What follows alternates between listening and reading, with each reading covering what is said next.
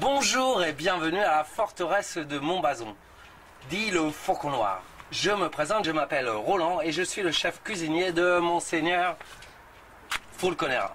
Je vous présente Cunégonde, mon assistant cuisine. Bonjour Cunégonde. Et Putrénide, qui aujourd'hui euh, n'est plus parmi nous, mais avec qui nous avons battu le record du monde de tournage de rôtisserie. Oh, ça perd les poupettes, je vais vous présenter Glantine qui a pris un peu de poids euh, ces temps-ci. Ah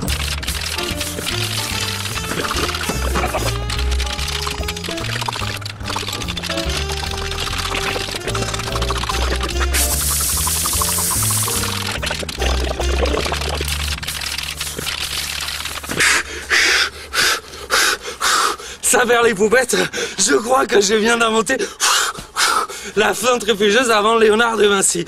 Regardez, même Églantine n'y a pas résisté. D'ailleurs, moi non plus. Oh là, ça tourne vite. Euh, Comme je vous l'ai dit, on a battu le record du monde. Mais aujourd'hui n'est pas le sujet puisque nous allons vous parler de, du pot-au-feu Montbazonné, pot-au-feu médiéval. Une très rapide recette avec laquelle nous allons... Oh Excusez-moi, les choux sont durs un peu cette année. Nous allons prendre un chou. Non, ne prendrons pas ce chou-là.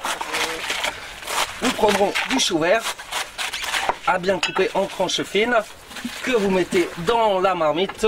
Nous allons dénaver, important les navets, de mon bason, des produits du terroir, tout est sain, un peu de pommes, quatre quartiers, c'est très important aussi. Qu'est-ce que j'ai oublié? Ah, ah, ah. Les panais, les panais, très produit local aussi. Tout ça est en train de mijoter magnifiquement, même si cela ne cuit pas. Pouvez-vous sentir, oh, excusez-moi, deux, trois, un petit peu de saucisson, euh, du poivre, important, du poivre, de l'ail pilé séché dans les oubliettes. Euh, Qu'est-ce que j'ai oublié encore? Euh, Un petit peu d'alcool d'eau de vie qui vient, qui mijote. N'oubliez pas pétronide, la tête de pétronide important. Il faut bien tout mélanger. Tout cela doit mariner pendant environ 5 heures au soleil.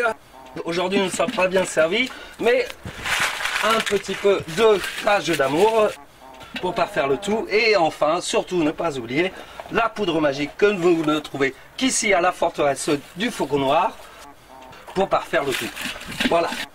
Donc je vous invite à venir festoyer dans ces magnifiques banquets médiévaux à la forteresse du Faucon Noir. À bientôt. Je vous embrasse.